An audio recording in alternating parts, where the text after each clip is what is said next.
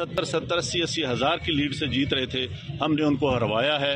और उनके ऊपर जाली मोरे लगा के सबको हरवाया। कमिश्नर साहब जब जाली मोहरें लग रही थी उस वक्त आपने किसी से कहा कि ये सब कुछ हो रहा है गलत हो रहा है इसको रोका जाए? देखिए मैं ये सारी इस गलत कार्य की ज़िम्मेदारी अपने ऊपर ले रहा हूँ और साथ आपको बता रहा हूँ कि जो चीफ इलेक्शन कमिश्नर है जो चीफ जस्टिस है वो भी इस काम में पूरे शरीक कमिश्नर किसके कहने पे सब कुछ होता रहा? ये इतना सब कुछ हुआ आखिर किसके कहने पे होता रहा? आप क्यों प्रेशर में किसने ऐसा किया? मेरे ऊपर कोई दबाव नहीं है। मेरे बाप दादा भी अंग्रेज़ों के खिलाफ और सिखों के खिलाफ जंगे करते रहे हैं लड़ते रहे हैं। ये मुल्क बनाने के लिए। अब मैं इस मुल्क को तोड़ने का हिस्सा नहीं बन सकता। कमिश्नर साहब, आपने रावलपिंडी की बहुत बड़ी खिदमत की है। आपने बड़े बड़े मेगा प्रोजेक्ट में 24 घंटे काम किया है। ये बताइएगा कि आपको कमिश्नर चीफ इलेक्शन कमीशन दबाव में ला रहा था कि ये करें सारे काम।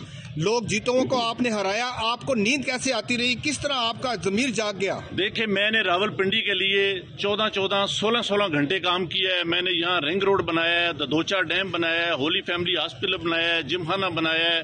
मैंने लारी अड्डे बनाए हैं मजदूरों के लिए सेंटर बनाए हैं मंशियात के अड्डे सेंटर बनाए हैं। सब कुछ मैं अपने मुल्क की बेहतरी के लिए करता रहूँ। लेकिन आखिर पे मैंने जो इस मुल्क के पेट में छुरा घूमपा है मुझे वो सोने नहीं देता। मैं ये सुकून की मौत बर्बाद करता हूँ। मैं जो जो मैंने जुल्म किया है मुझे उसकी सजा मिलनी चाहिए और बाकी भी इस जुल्म में जो लोग शामिल हैं पुलिस भी शामिल है? पुलिस भी शामिल है? जो लोग आपके साथ यहाँ पर